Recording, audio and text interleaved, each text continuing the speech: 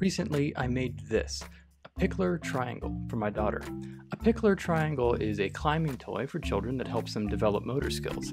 The simple, open ended nature of it also encourages creative thinking and provides children with endless hours of play.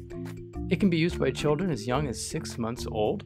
Younger children can use it to help them pull to a stand, while older children can enjoy climbing over it or crawling under it. You can extend its use by adding a ramp or a slide to one of the top rungs, or just throw a blanket over it and call it a tent. My version of the Pikler Triangle is a very minimal, affordable design that can be made from ordinary materials available at any hardware store, and it requires few special tools. There are no ugly screws, knobs, or bolts, and it's also collapsible, so it can be transported easily without taking up much space. To show you how I made this Pikler triangle, I'm going to step you through a SketchUp file that I've made.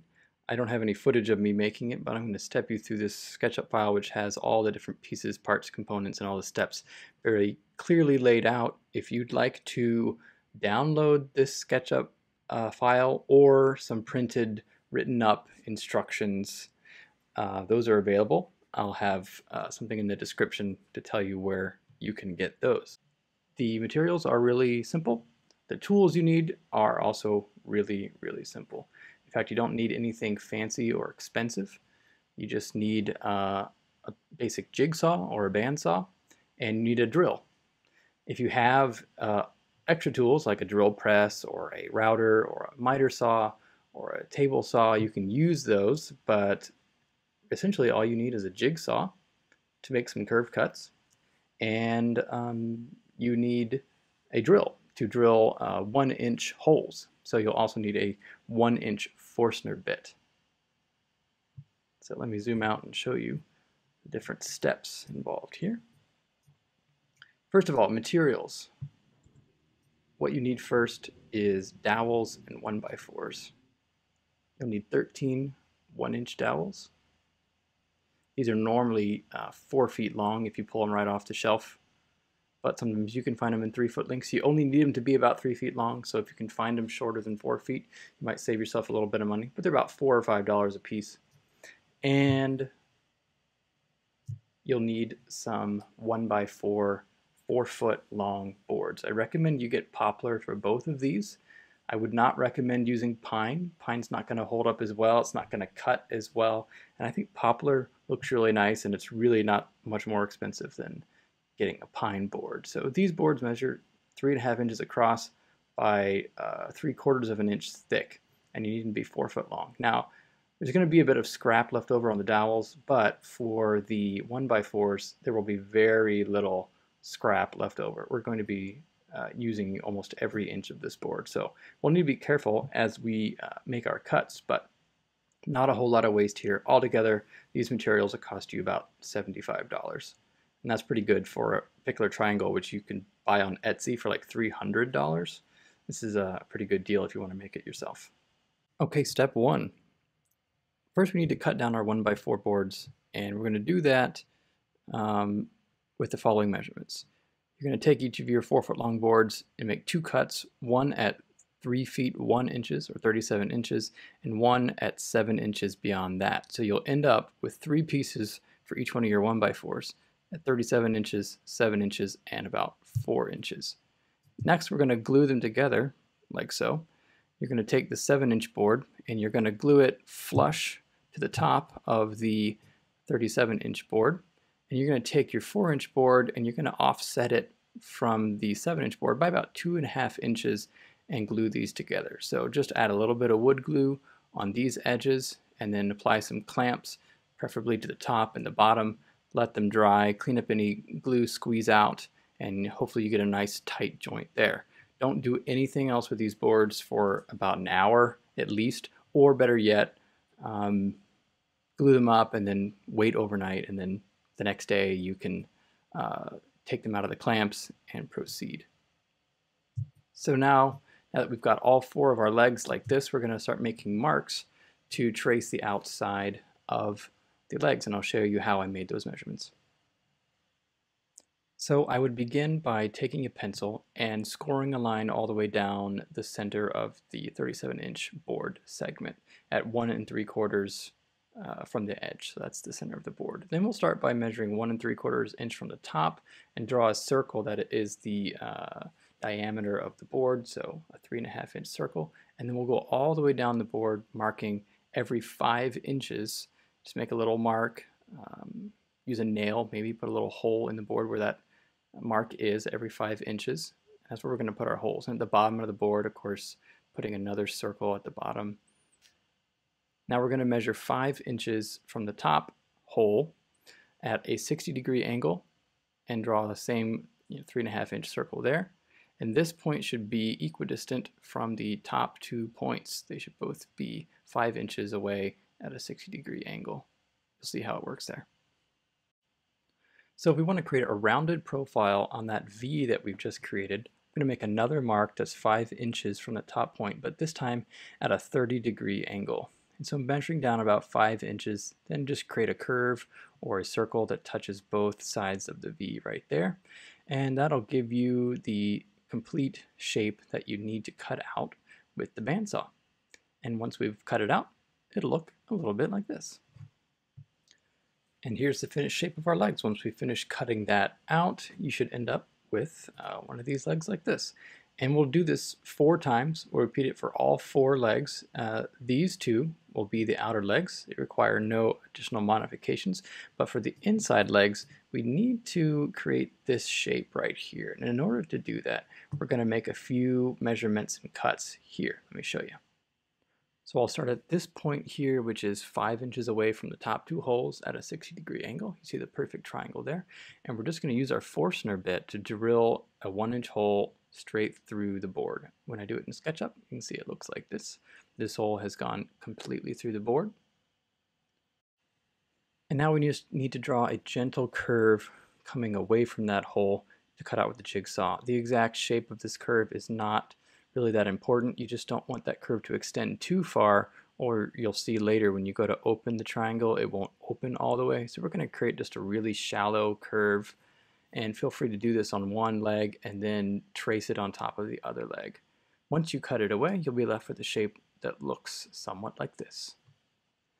And now that we've got all of our legs completely cut out, it's time for the fun part, drilling all the holes. Now, with the inside faces of the boards facing up, let's go ahead and make marks for where all of our holes should be if we don't already have them made at this point. I'm showing you again in the SketchUp file where I mark the holes.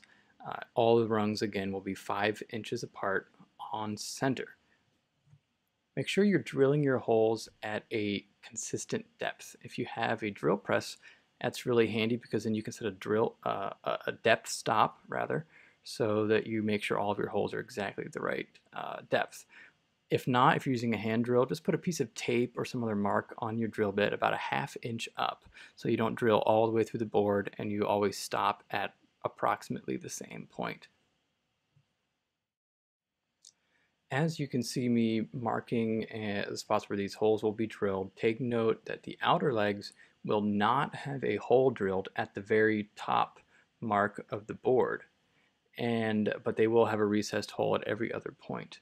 The inner legs, which you see on the left, will have recessed holes at all these points, but they will also have a through hole at the next to top mark.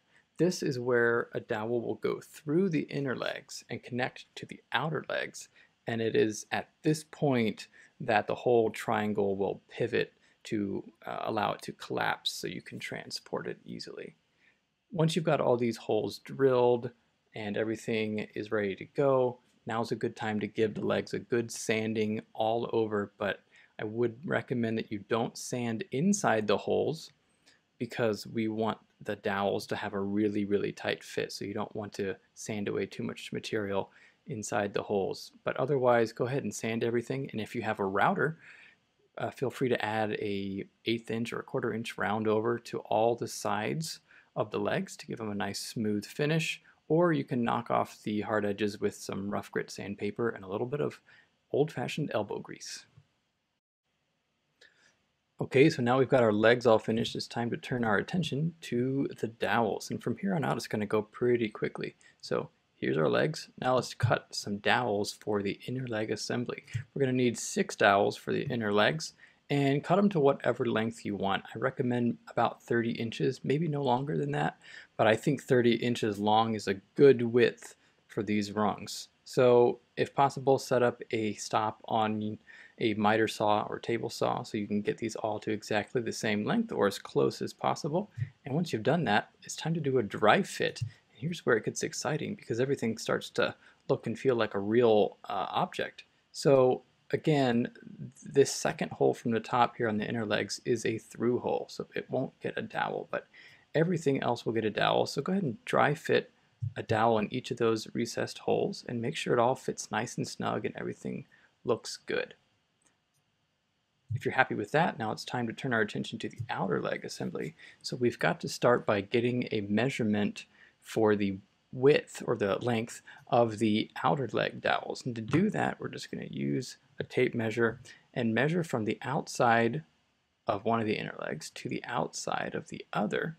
And you know, in this example, in this perfect world example, it ends up being two foot six and a half inches or 30 and a half inches. And to that length, we will add an extra half inch on each side for the uh, depth of the recessed holes, however deep you made those holes. So in this perfect world example, it's going to end up being about 31 and a half inches. But do err on the side of a little bit longer. You might want to try making it a little bit longer and then do a dry fit. You can always take more off the dowels, but you obviously can't add any more back on. So now that we've got that approximate measurement of say 31 and a half inches, we can cut down the rest of our dowels to that approximate length and there should be about seven uh, dowels remaining. So we're going to cut them all to that length and now we can do a dry fit of the whole thing. And it should look something like this. Once we've put everything together, and you'll figure out how to assemble it, there's one right way to do it you get this. And if you've done it all right to this point, it should open up to a perfect 60 degree angle. This is a perfect triangle and all the pieces should meet up and match like this. It's very satisfying once you get this whole thing uh, put together like this. So just take a moment and uh, photograph your progress and take some pride in what you've accomplished to this point. So remember that curve we drew on the inner legs, which are going to end up biting this dowel on the outer legs essentially.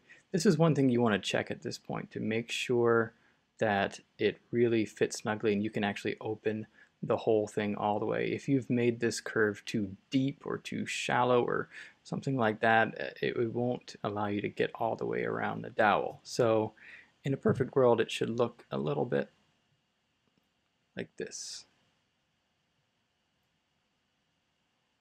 And you should see it kind of lock into place and hopefully that uh, curve on your inner leg doesn't run into uh, the dowel on the outer legs. If it does, no problem. That happened to me, but you can just sand down that kind of bottom lip of your leg until uh, it's just the right size and you can open it all the way. So check that everything fits well, that this pivot point here uh, move smoothly, that the inner legs can open all the way onto that dowel on the outer legs. And if everything else looks good, then you're ready to disassemble and glue up. So it's time to start by just disassembling everything. And at this point, if you want to add finish to the legs, go ahead and add a few coats of polyurethane with a light sanding in between. Don't polyurethane the dowels and don't get any polyurethane inside the recessed holes. Just like we didn't want to sand inside those holes, I wouldn't want to add finish in there. I'd be worried that you wouldn't get a good fit with your dowels once you go to add them back in. But after everything's dry and everything's finished, just the legs again, then uh, we can start to assemble everything, the legs and the dowels again. Start with the inner leg assembly and get all those six dowels and the legs glued together and then you can move on to the outer leg assembly and sort of attach that around the inner legs. You'll see how it goes and get everything nice and snug. And uh, once it's all assembled like this, now you can add some polyurethane to the dowels. Maybe just use a, a rag and wipe on a few coats. Maybe use some wipe on poly, something like that. And uh, as a pro tip, I get an extra set of hands to help you when you're assembling this whole thing. The glue could dry pretty quickly and it can be frustrating to try to line up all these dowels and get them in all six or seven holes at the same time. So having an extra set of hands to help you do that uh, goes a long way. And with that, we are essentially done, but there's one final step to make for safety. The last step for safety is to add a hole for a locking pin to prevent the whole triangle from collapsing on itself. Now, this Pikler triangle is very sturdy if it is made well, and it should never be able to open wider than 60 degrees like this because of the catch on the inside of the legs.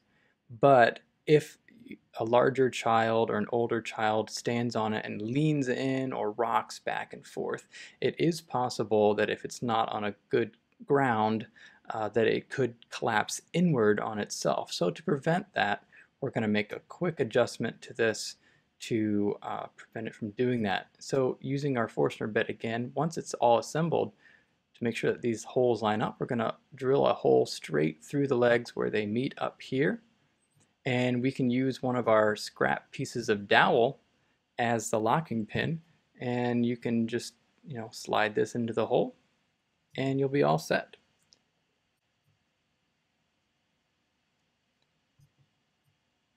This hole will be drilled right in the middle of these top three holes as you can see here. If you want a measurement, it'd just be two and a half inches on center from the top dowel to the center of this point here. And uh, the reason why we've waited until this point to put this hole in here is to make sure that, you know, with real world tolerances, uh, we want to make sure that these legs line up exactly and these holes line up exactly. So there you have it. You could use a piece of string or rope to tie this off, drill a hole through it, put a string through it, tie it to the leg so you never lose it and it's always there and it's always handy so you never lose it. And uh, then all you got to do to uh, make it uh, sturdy is just to open it up and then slide that dowel in there and feel free to sand the inside of this hole and the dowel itself just to make it really smooth and very easy to pull in and out. It should be enough to keep it from collapsing and it should be enough to prevent a small child from easily pulling it in or out.